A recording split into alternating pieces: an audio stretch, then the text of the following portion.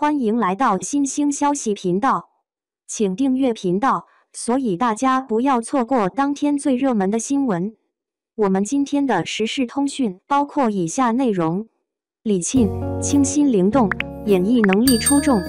李沁，这位一九九零年九月二十七日出生于江苏省苏州市昆山市八城镇的内地影视女演员，以其清新灵动的气质、扎实的演技。以及多彩的角色塑造而备受观众喜爱。他的演艺之路从少年薛宝钗开始，逐步展现了他多面的演绎能力和坚韧的性格。早在2008年，李沁因在古装剧《红楼梦》中出演少年薛宝钗而引起观众注意，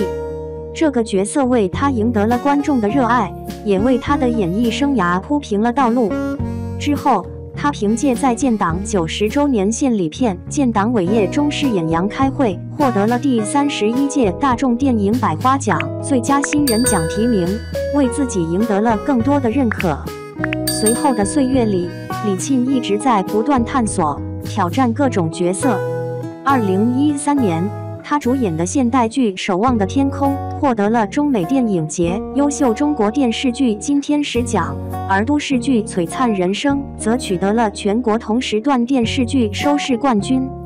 二零一四年，他以电视剧《花开半夏》和《千金归来》获得国剧盛典最具潜力女演员奖，进一步证实了他的实力。二零一七年。李沁在古装剧《楚乔传》中的出色表现，再次引发了广泛关注。二零一八年，她在年代剧《白鹿原》中的精彩演出，入围了第二十四届上海电视节白玉兰奖最佳女配角奖，并且凭借建军九十周年献礼片《建军大业》获得了第三十四届大众电影百花奖最佳女主角提名。二零一九年。他主演的古装剧《庆余年》再次受到观众的喜爱。二零二零年，李沁在喜剧片《温暖的抱抱》中的出色演出，使得该片票房突破了八亿人民币。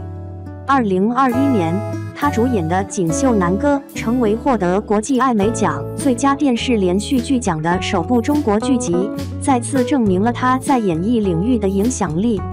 李沁的成就源于他对演艺事业的热爱和执着。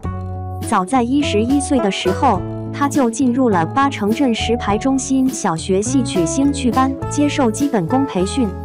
随后，他考入上海戏校学习昆曲表演艺术，得到了专业的培养。他的努力和天赋使他在影视圈中展现出多元化的演绎能力。从革命历史剧到都市青春言情剧，从古装剧到喜剧片，他都能够游刃有余地塑造不同类型的角色。李沁的美丽外表和清新气质，使得她在角色中展现出不同的魅力。